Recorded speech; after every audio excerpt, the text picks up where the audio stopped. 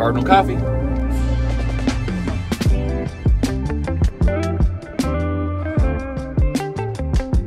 Aren't we in a winter storm warning like in an hour or two? Yeah, and I'm getting ready to take something off. I know it's I'm beautiful hot, out yeah. here. I don't know about these weather guys. But a lot of times they say it warms up a little bit before it snows. so, Ooh, the calm like- before the storm, right? yeah, yeah, right. Uh,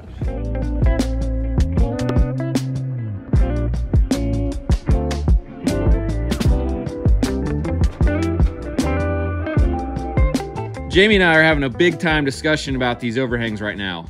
Big time. And what I think is going to look awesome is if these have a big slope soffit underneath instead of flat. And they're huge with like a 1 by 10 fascia, like a monster thick looking roof structure.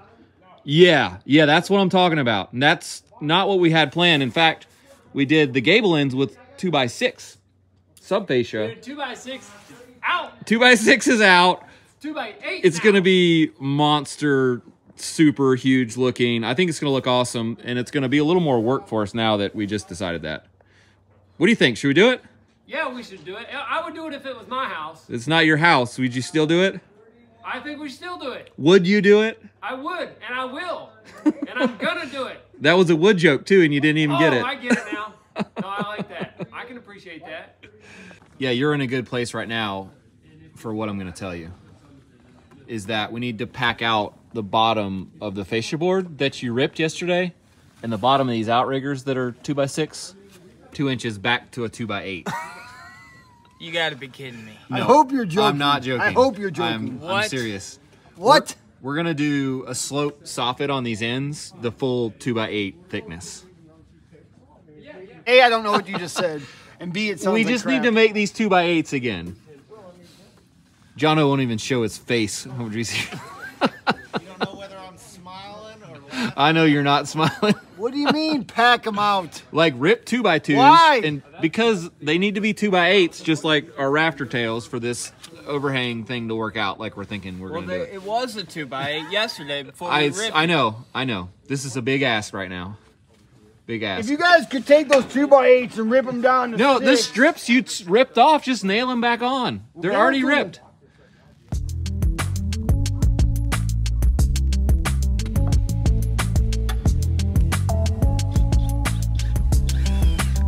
For a short wall like this that doesn't run all the way through a room and connect to anything on the other side, you can see why there's a reason for us to need to attach it to something at the top. Yeah, give it a shake. Yeah. Yeah, and this is uh, an area for a shower. And so we actually have a critical dimension here we need to hit in the width, not only at the bottom, but at the top. And we can check this right here. And I'm just gonna confirm I got 48 and that's a little over an eighth. That would be just fine for the shower. I'm gonna check with my plumb stick. And it's actually showing I need to go over a touchy touch more. And this one can get marked off the list. We use screws in a lot of the framing. Everybody has a pouch full of screws, and we're using these GRK R4 structural grade screws. Don't just grab any old deck screw off the shelf if you're gonna use it in your framing. Be sure it is rated for structural use. Why are we signing this thing? So I was selling it on Marketplace, and some guy found it, but he lives in Sylva, and so I was selling it for 20 bucks. He said if the crew signs it, he'll give me 25 What for if it. the crew signs it and we put it on YouTube uh, signing it? Will he give you 30? I don't know. I don't know. I'll have to reach out to him. Make it 40. I'll have to reach out to him. Does that mean each of our signatures is worth one dollar? Yep. We're $1 famous, boys. I can't believe it. crew or That's not a signature. That's Well, more neither are like- these. It's all right. It don't matter. signature. What in the Are you? that What, do we have doctors on our crew now? I'm pretty sure he's gonna want his five bucks back now. Let me see if I can get a He's gonna make me pay Well, to take like- it. He's like, oh, how about you give me 10 and I'll take it off your hands Yeah. for you. That's um that's my signature. It is though, isn't it? You've seen me sign stuff. Yeah, sign this little Dr. turd, too. Perkins. We've got our zip system sheathing up to diagonally brace this wall from doing that number before putting the roof on. And that's pretty important, or we like to do it first anyway, because until you do that, the whole roof kind of feels ooh, ooh. It is a And little I've- wiggly. I've seen houses under construction, like pictures of them on social media, that have done this thing when you have the roof sheathing on. Yeah, And it's like a big sail, but not wall sheathing. They just like twist and just collapse. It in, totally in could. storms. I've seen like bad ones, so it's always a great idea to get you know the, your wall sheathing up. I mean, first. keep the horse in front of the carriage. I don't know. wow. Wow. That right? I mean, I'm right or right. okay. So yeah, let's uh let's clip the tails and get going on the roof. All right.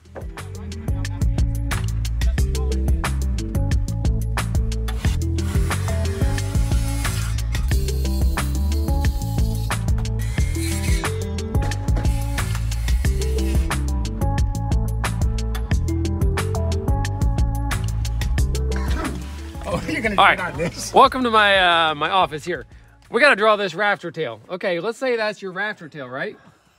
There it is. Now, the thing about it is it's sloped, right? So when you put a fascia board on square, your plywood is going to hit here. Your no what? good. OSB. OSB. Okay. Now, and if you put that square on the bottom and it hangs down a tiny bit, then you got to chisel that off because we're going to put OSB on the bottom and it can't be gappy there. What I really want is a um, New paint job. what I really want is a Once fascia asked board that does that. Yeah. That's what I want. You Yeah. see, is that a rhombus? I don't know, but yeah, that's parallelogram. ideal. I'm, I'm with you. That's ideal. That's ideal.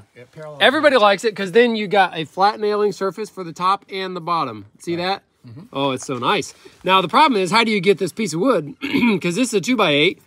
If you make this out of a two by eight, It's not wide enough. it's not wide enough. But I just had the most brilliant I don't know idea. if I want to hear this. You take a two by eight, okay? You rip it in the middle on the angle, and then you. and then you flip them apart, and, you put one on the top and one on the bottom, and they'll Does be that about make it the right size? it. No, it gap makes in it the any middle. size. Who cares? Just It makes it- the top and the bottom. Oh, you just gapped the. They'll, they'll either be tight or there'll be a tiny gap in between them. but it doesn't really matter. It won't matter at Yeah, all. It'd be, in fact, you can have it perfect. dude. wow, that's that is pretty smart.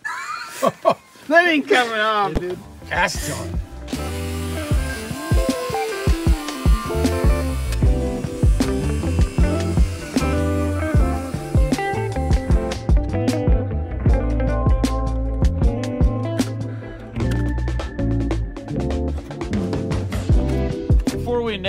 Board to this rafter, we're gonna sight the fly rafter, make sure it's straight because these are all connected together with these outriggers. So if I nail this one, I can't adjust the in one later. Jamie's on the ground, where he was. Hey, you sighting this for us? Yeah, yeah, no, we're just Okay, Ja- Jamie's gonna sight it and let me know when I got it straight, and then we're gonna shoot it. So I'm gonna clamp it in. Whoa, a little more. Great tool to have on the job site, by the way, a bar clamp. You can get a lot of stuff. Is that good? Yeah, there's. We're gonna have to push out in the middle, but that's it.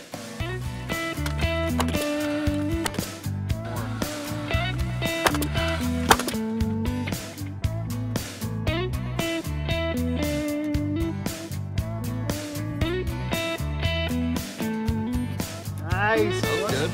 That was real good.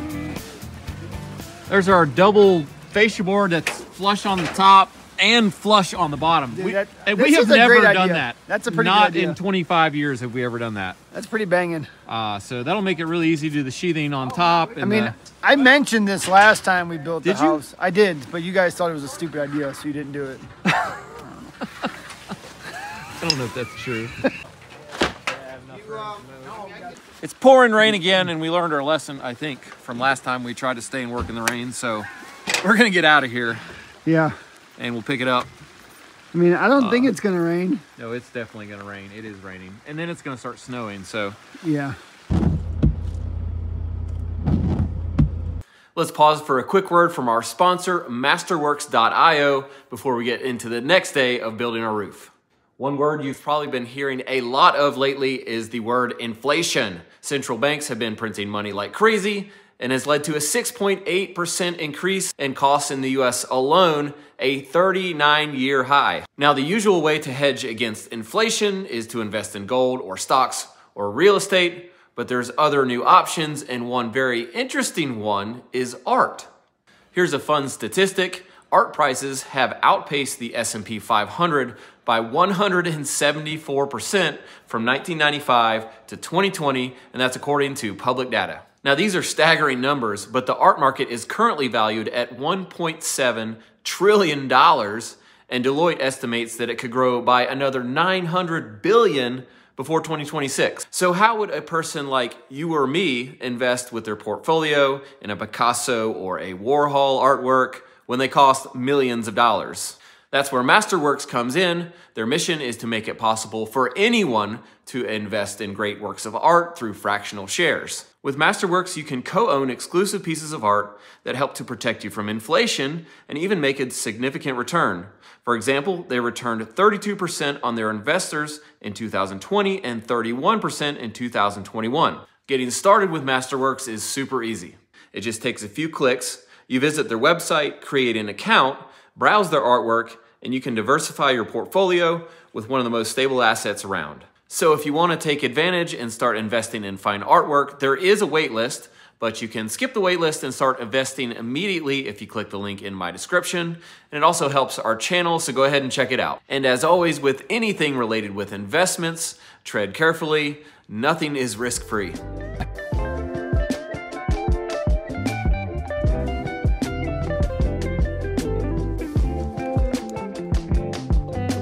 Back on the job. We're gonna finish first row and then we're gonna get on this roof. Can't wait. We got a fresh face on the job site. Yes, yes. This is Porter, and he is a fifth year architecture student at UT.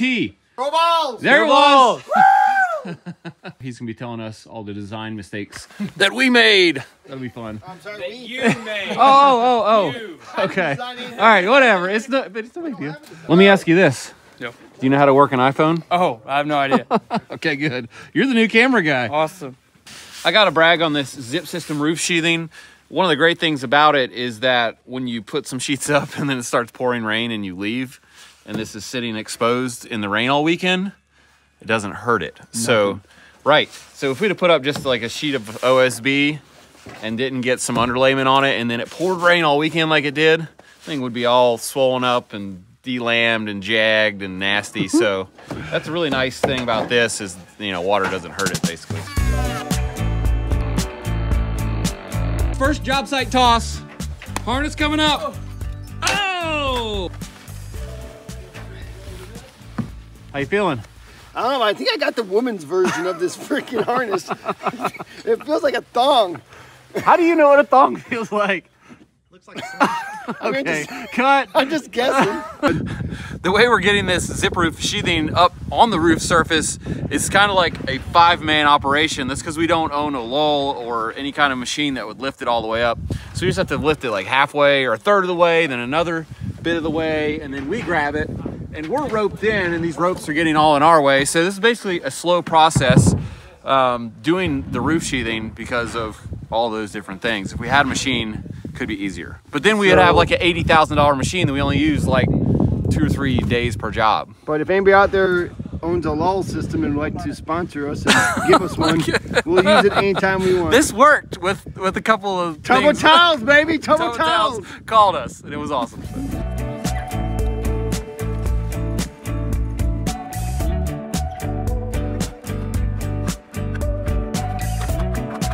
If you're interested in more detail, some of you really are interested in the building stuff. Uh, one thing is we're not using H clips, which are this little metal piece that slides over your sheathing on the bottom and on the top to align them uh, between your rafters.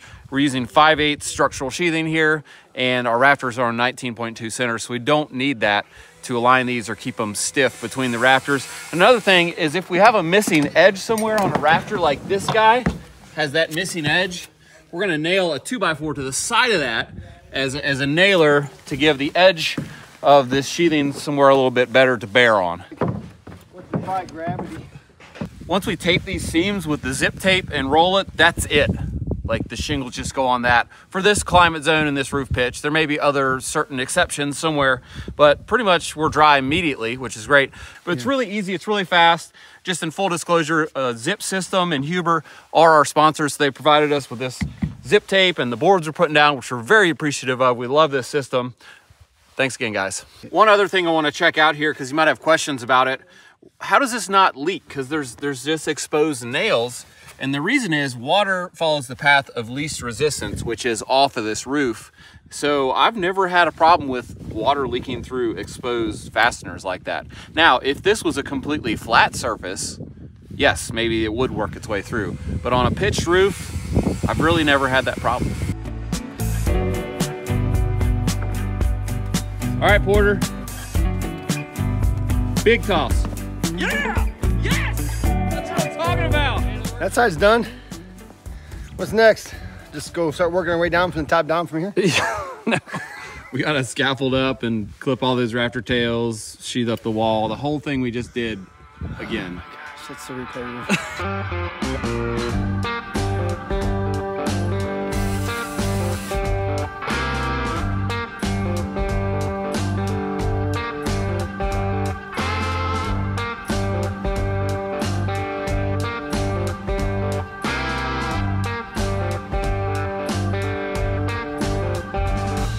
Can I be completely honest with you right now? Yes, sir. I feel like we were working a little faster than we usually do, just to maybe show off because you're an architect. I felt like I needed to tell you that.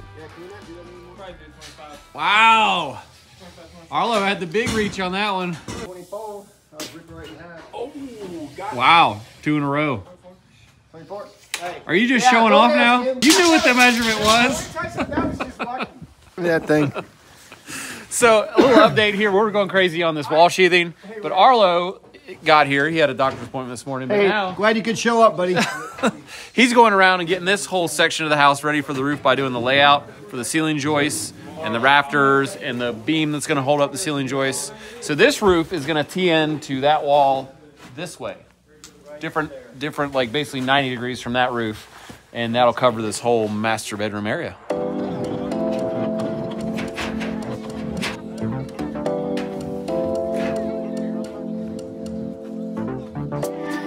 Wow, we didn't have much extra there. No. That's Four why, inches extra That's on why. I just double checked it twice. I was like, That's a good idea.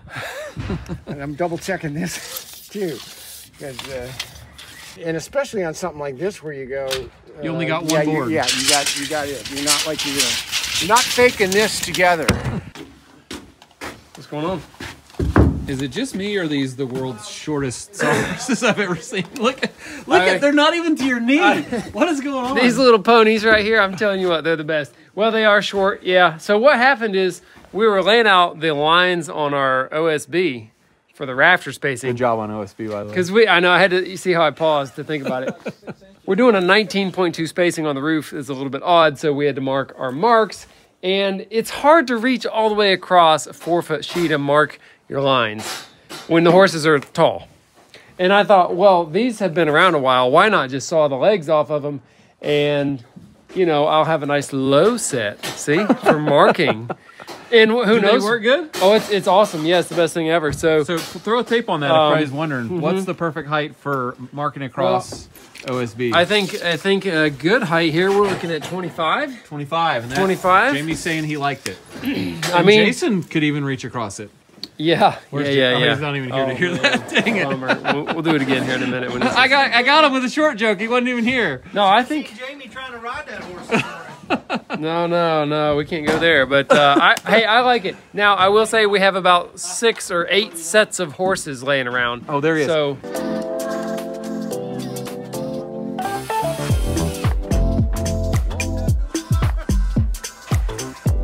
got a demonstration set up here. Here's the end of my chalk line. I've got it run directly under this line we've already marked. You can see on all of our rafter tails.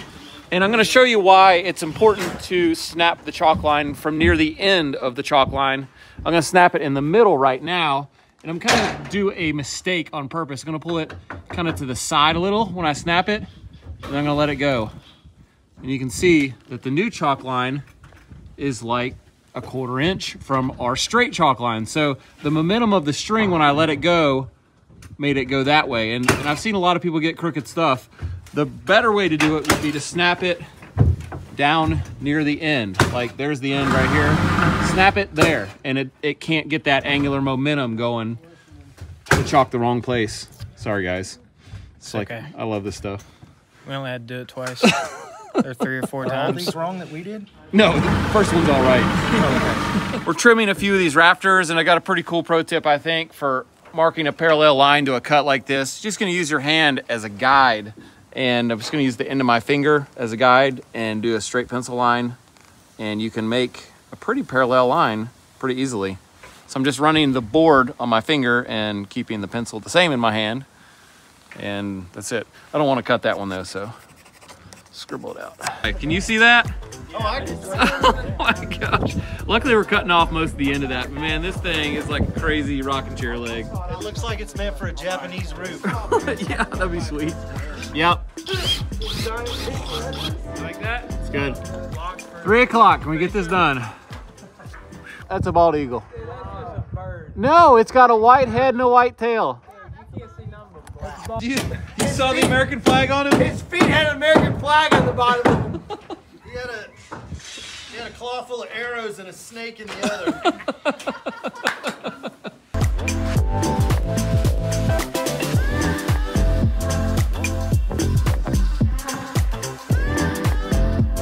This is uh, great and all, but um, is that how we're getting Have a down? ladder, Depends but on how much of a raise you want to give me. Oh, oh, okay. I see. Jason's Uh, gonna do Jason's gonna do a trust fall on Ray.